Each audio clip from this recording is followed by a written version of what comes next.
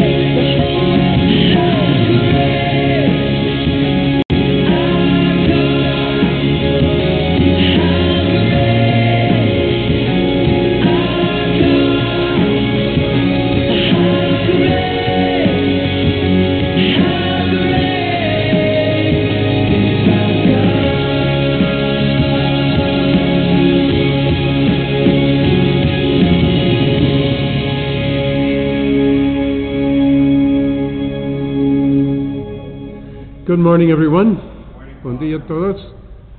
In the name of the Father, and of the Son, and of the Holy Spirit. The grace of our Lord Jesus Christ, the love of God our Father, and the communion of the Holy Spirit be with all of you. Welcome uh, to those who have joined us here at Our Lady of Fatima on this 16th Sunday of Ordinary Time, and a very warm welcome to those who are joining us on live stream. Uh, know that you are part of our community here at Our Lady of Fatima this morning. And if you are alone, know that uh, you are not alone, that you join us here in this community and with all of those others who are joining us uh, remotely this morning. So last Sunday, the disciples were sent out. As we are sent out into single life, marriage, priesthood, and also into new things that God may be calling us to. This Sunday, the disciples come back. And now they come back as apostles. It's the only time in Mark's gospel the word apostle is used. And um, obviously, in their mission, they have become new people. Something else happens in between those going out and coming back. We'll get to that later.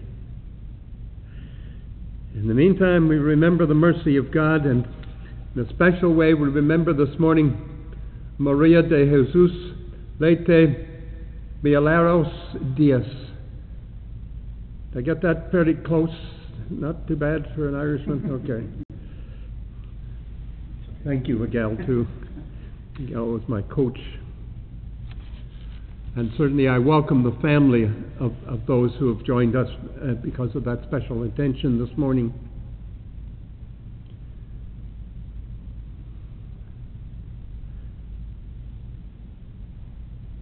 Let us pray.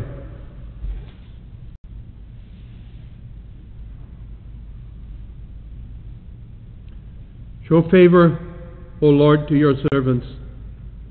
Mercifully increase the gifts of your grace, that made fervent in hope, faith, and charity, they may be ever watchful in keeping your commands. Through our Lord Jesus Christ, your Son, who lives and reigns with you in the unity of the Holy Spirit, one God, forever and ever. Amen.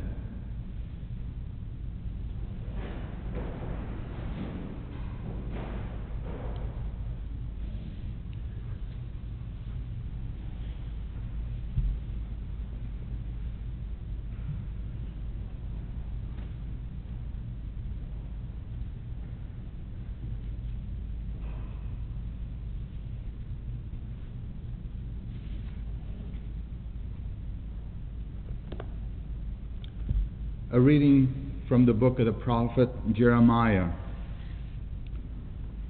Woe to the shepherds who destroy and scatter the sheep of my pasture, says the Lord.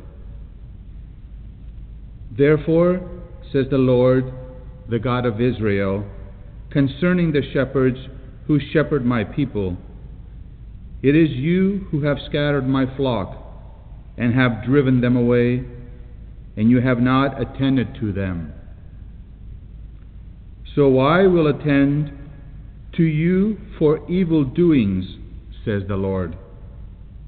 Then I myself will gather the remnant of my flock out of all the lands where I have driven them, and I will bring them back to their fold, and they shall be fruitful and multiply.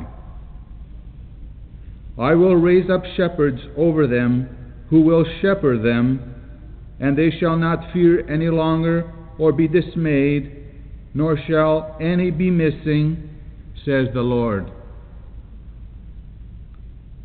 The days are surely coming, says the Lord, when I will raise up for David a righteous branch, and he shall reign as king and deal wisely and shall execute justice and righteousness in the land. In his days, Judah will be saved and Israel will live in safety. And this is the name by which he will be called. The Lord is our righteousness. The word of the Lord. Thanks be to God.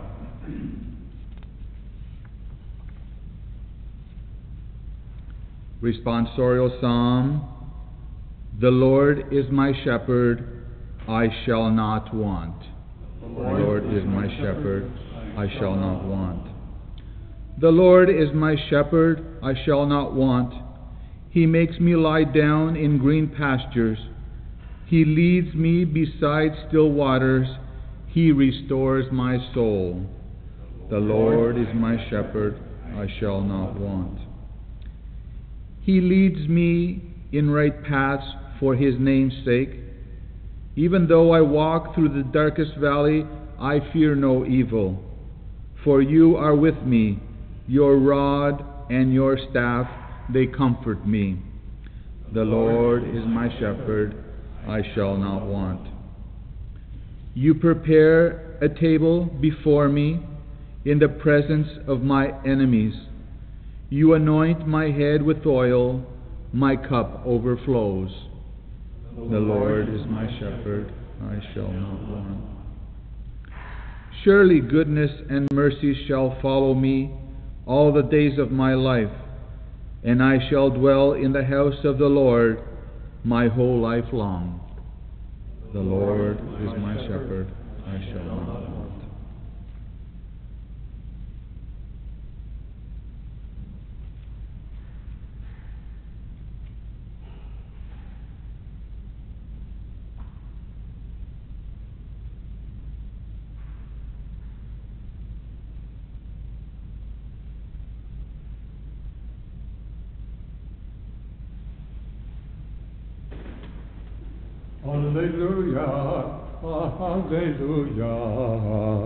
Hallelujah, hallelujah.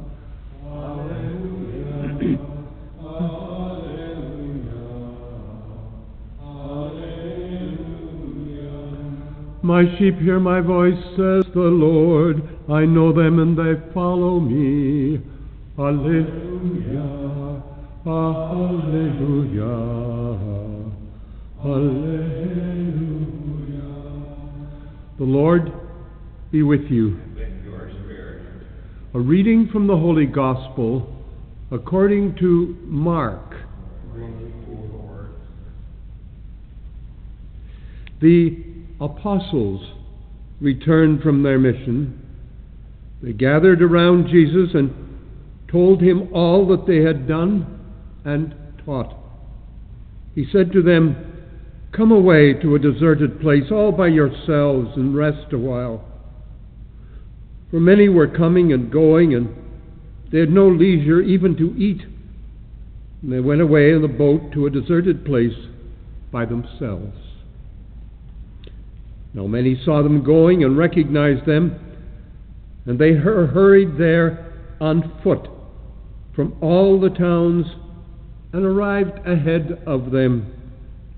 As Jesus went ashore, he saw a great crowd, and he had compassion for them because they were like sheep without a shepherd. And he began to teach them many things. The Gospel of the Lord.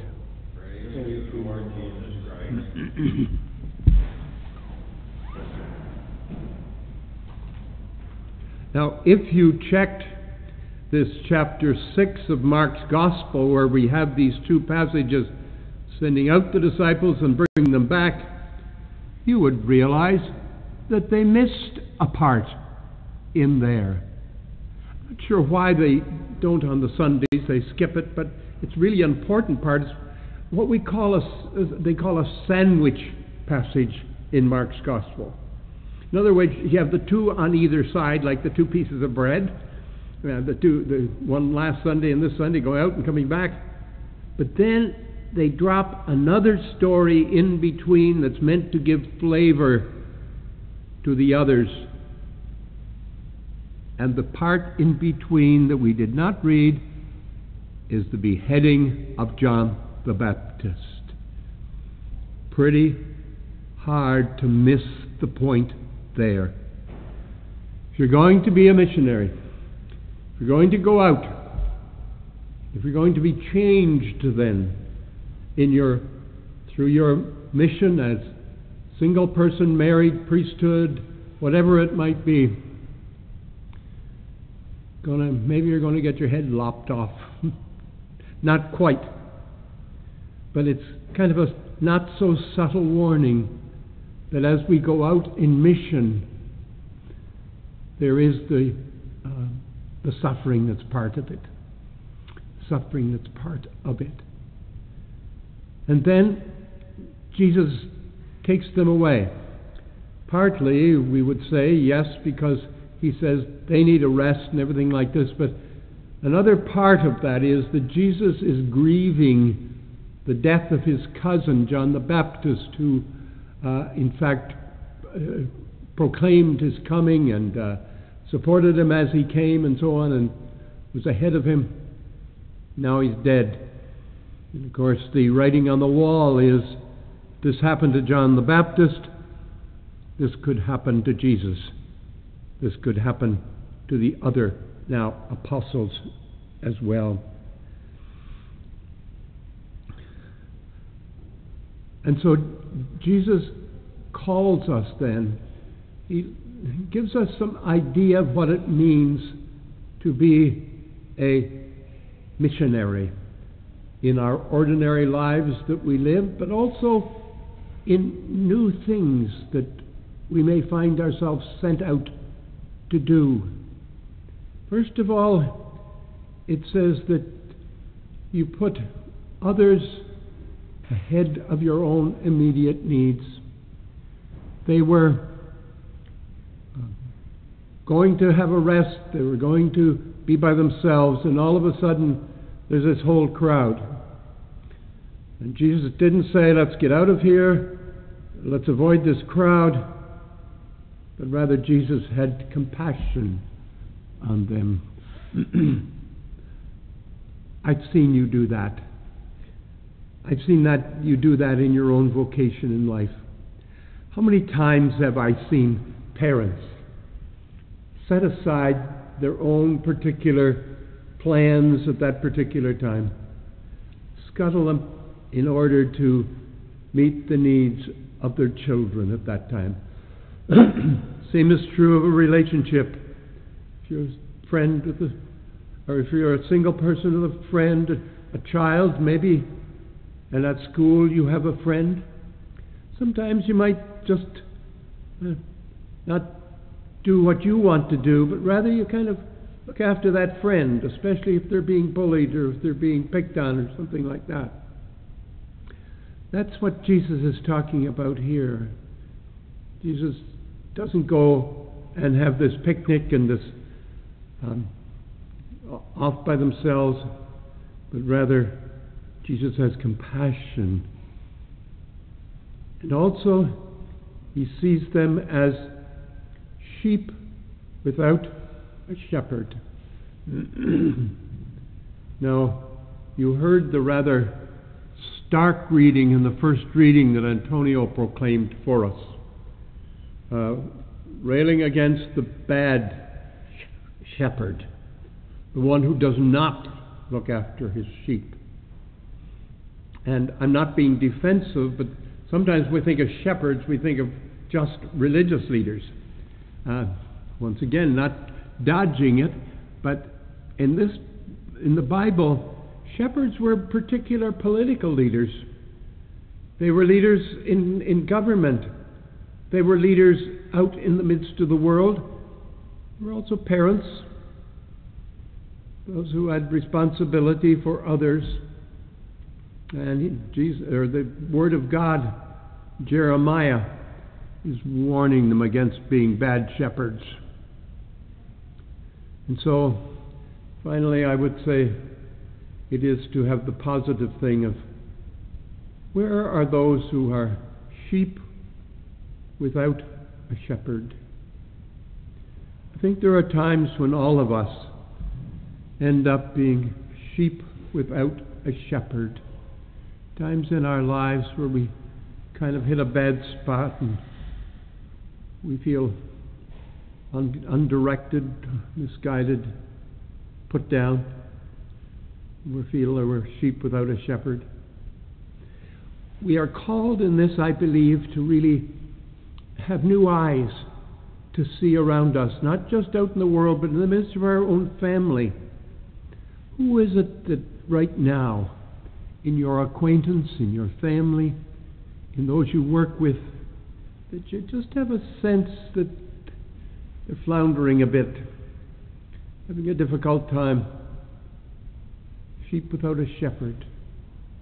What is it that we, I, you, can do to be Jesus like there and reach out to those who are sheep without a shepherd? I would say that within all of us, too, even though we seem like we got it all together on the outside, that within each one of us, too, we can find a little bit of us that kind of like without a shepherd. We're kind of wandering a bit. Need to be sensitive to that. It's called self care. Concerned about ourselves and looking after ourselves. Tending to those parts of ourselves where we are we feel a little lost. We feel a little lost.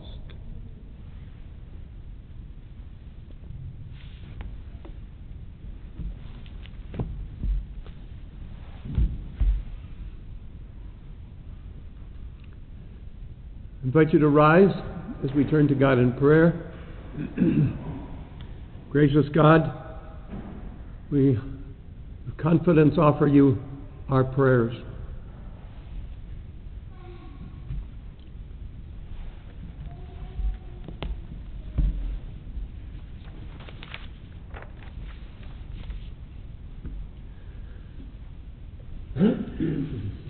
For Pope Francis, as he recovers from surgery, continues to be an instrument of God's healing care to all who find life's journey burdensome, we pray to the Lord. For those overwhelmed by activity, especially those in public life, we pray to the Lord. For a spirit of compassion, that God will touch our hearts with care and concern for all whom we find burdensome, needy, or demanding, we pray to the Lord. For those in leadership in all Christian churches, they have the heart of a true shepherd's and guide the church closer to Jesus in greater unity, we pray to the Lord. For parish community of Our Lady of Fatima, we may trust in God's unending love and be open to new ways of experiencing the body of Christ. We pray to the Lord.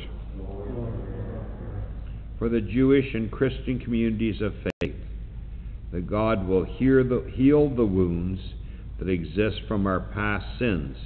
We pray to the Lord. For patience and insight, that God will assist parents and young people who are in conflict, help them understand each other, and lead them to new respect and cooperation. We pray to the Lord. For all of the sick today, and for all those who have died in our communities and our families, we pray to the Lord.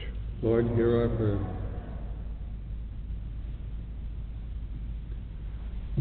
Loving God, we turn to you with confidence and we offer these prayers through Christ our Lord. Amen.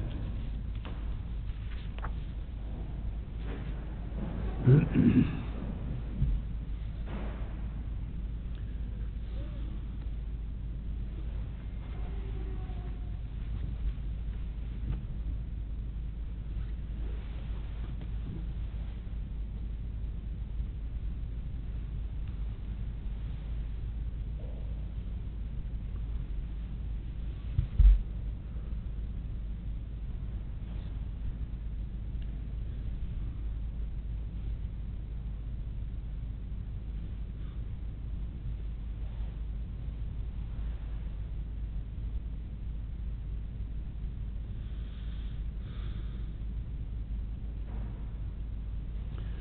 Blessed are you, Lord God of all creation. Through your goodness we have this bread to offer. Earth hath given and human hands have made. It will become for us the bread of life.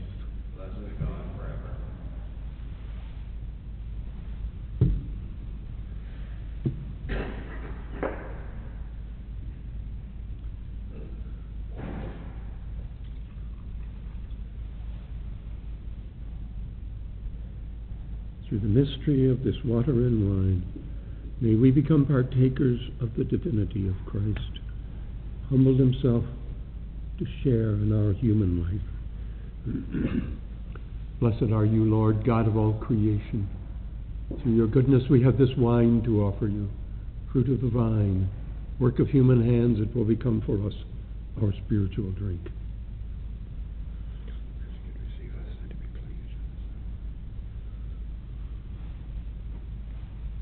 Wash me, O Lord, my iniquity. Cleanse me from my sins. Pray that our sacrifice may become acceptable to God, our Almighty Father.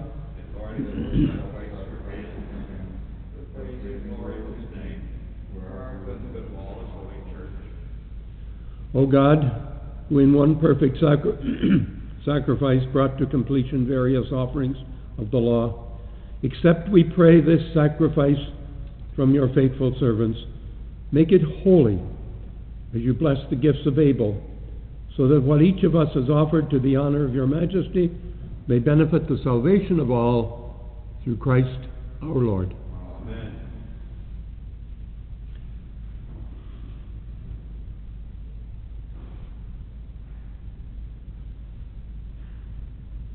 The Lord be with you. Lift up your hearts. Let us give thanks to the Lord our God.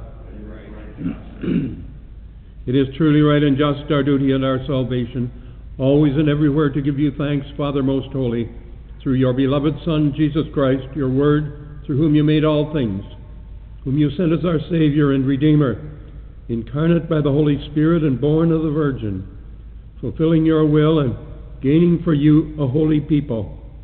He stretched out his arms as he endured his passion, so as to break the bonds of death and manifest the resurrection. And so, with the angels and all the saints, we declare your glory, as with one voice we acclaim Holy. Holy, holy Lord, God of hosts, heaven and earth are full of your glory. Hosanna in the highest. Blessed is he who comes in the name of the Lord. Hosanna in the highest.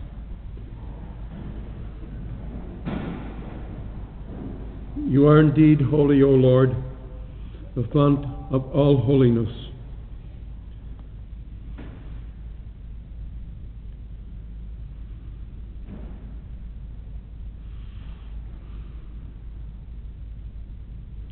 Make holy, therefore, these gifts, we pray, by sending down your Spirit upon them like the dewfall, so that they may become for us the body and blood of our Lord Jesus Christ. At the time he was betrayed and entered willingly into his passion, he took bread and giving thanks broke it and gave it to his disciples, saying, Take this, all of you, and eat of it, for this is my body, which will be given up for you.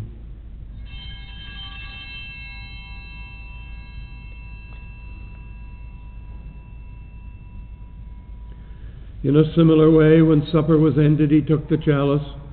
Once more giving thanks, he gave it to his disciples, saying, Take this, all of you, and drink from it. For this is the chalice of my blood, the blood of the new and eternal covenant, which will be poured out for you and for many for the forgiveness of sins. Do this in memory of me.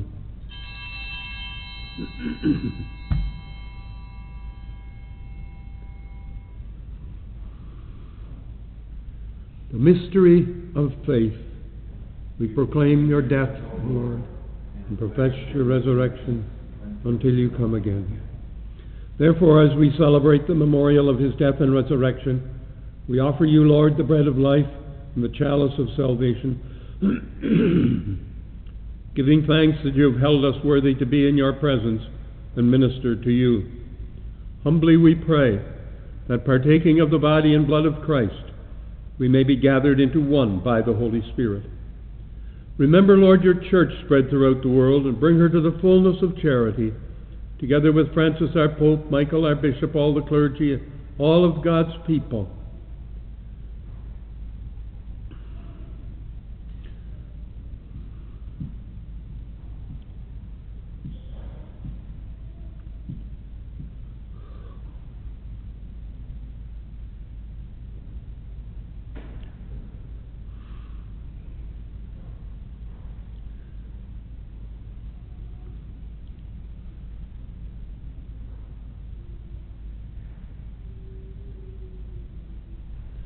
Remember also our brothers and sisters who have fallen asleep in the hope of the resurrection, all who have died in your mercy. Welcome them into the light of your face. Have mercy on us all, we pray, that with the Blessed Virgin Mary, Mother of God, blessed Joseph, her spouse, with the blessed apostles, and all the saints who have pleased you throughout the ages, we may merit to be co heirs to eternal life, may praise and glorify you through your Son, Jesus Christ. For it is through him, and with him, and in him, O God Almighty Father, in the unity of the Holy Spirit, all glory and honor is yours forever and ever. Amen.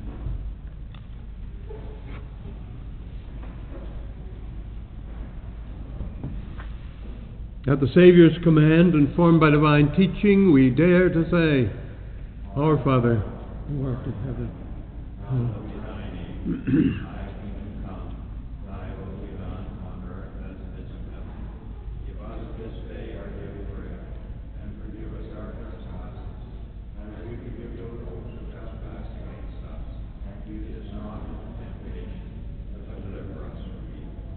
deliver us Lord, we pray, from every evil. Graciously grant peace in our days. In your mercy, keep us free from sin and protect us from all anxiety as we wait in joyful hope for the coming of our Savior Jesus Christ. For the kingdom and the power and the glory are yours now and forever. Lord Jesus Christ, you said to your apostles, Peace I leave you, peace I give you. Look not on our sins, but on the faith of your church. Grant us the peace and the unity of your kingdom, where you live forever and ever. Amen. The peace of the Lord be with you always. With your spirit. I invite you to offer each other a sign now of the peace of our Lord Jesus Christ. Peace of Christ, Miguel. Peace of Christ, Antonio. Ian. Lamb of God, You take away the sins of the world, have mercy on us. Lamb of God, you take away the sins of the world, have mercy on us. Lamb of God, you take away the sins of the world, grant us peace.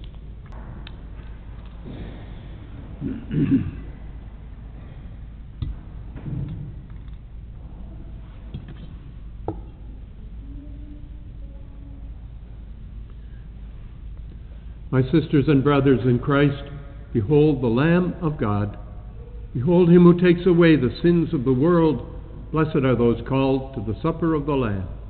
Lord, Lord, I am not worthy that you should enter under my roof, but only say the word, and my soul shall be healed. in the body of Christ, keep me safe for eternal life.